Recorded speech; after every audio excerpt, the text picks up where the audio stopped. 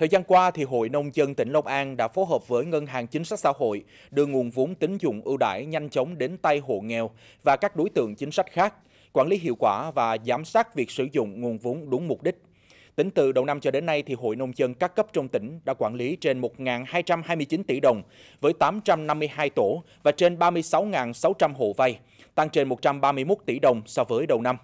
Từ nguồn vốn này, thì Hội Nông dân các cấp đã hỗ trợ vốn, tư liệu sản xuất, qua đó giúp cho hàng trăm hội viên được tiếp cận, sử dụng hiệu quả nguồn vốn tín dụng chính sách xã hội, góp phần giảm nghèo bền vững, ổn định cuộc sống. Để nguồn vốn tín dụng ưu đãi của Ngân hàng Chính sách Xã hội phát huy được hiệu quả, Hội đã tích cực triển khai đồng bộ các giải pháp.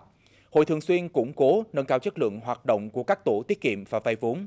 cùng các tổ tiết kiệm và vay vốn thực hiện nghiêm túc, minh bạch công tác bình xét cho vay, đảm bảo vốn vay đến đúng đối tượng, các hộ vay vốn sử dụng đúng mục đích, đặc biệt quan tâm giúp đỡ các hộ là hội viên nông dân nghèo, cận nghèo, vay vốn để phát triển kinh tế.